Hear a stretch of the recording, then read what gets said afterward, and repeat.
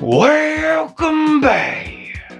First of all, I want to thank everyone who supported Dwerve on Kickstarter, even if you just like retweeted. PJ made this referral system for Dwerve. Basically, you're gonna get like a, a, a referral link and you'll share that and get rewards. So basically, you just enter your email, then you select your pledge tier, select the actual one that you did. So it's pretty simple. Here's my link. Just by clicking it, I copied it, and now I can go paste it on social media or share it right here on Facebook and stuff. Yep, see, there we go. How funny would it be if I um, pasted this referral link on Twitter and started getting prizes for my own game?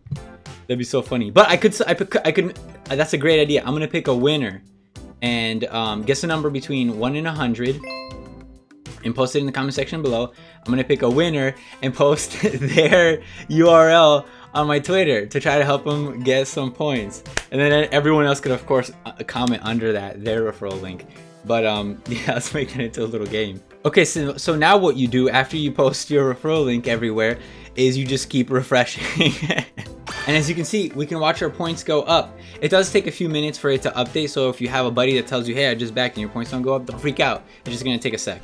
Yo, we're 230% funded. That looks good. And then right under that, there's a 1000% funded. Oh my God, take my happiness away right away, huh?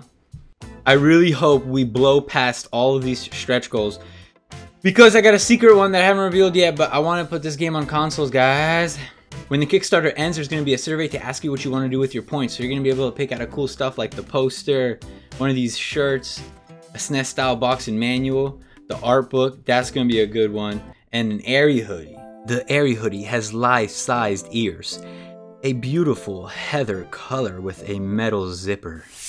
The little exclamation point behind one of the rewards shows you that you'll need to upgrade to get more points for this. So you saw how I got 3 points for a referral.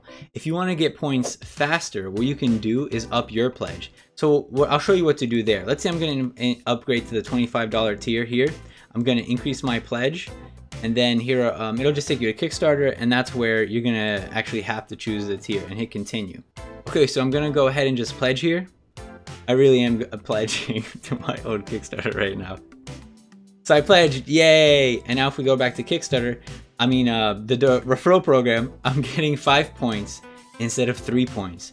The higher your tier is, the more points you can collect, so the better prizes you can get. If you up your tier, you can earn more rewards and you'll be earning them quicker.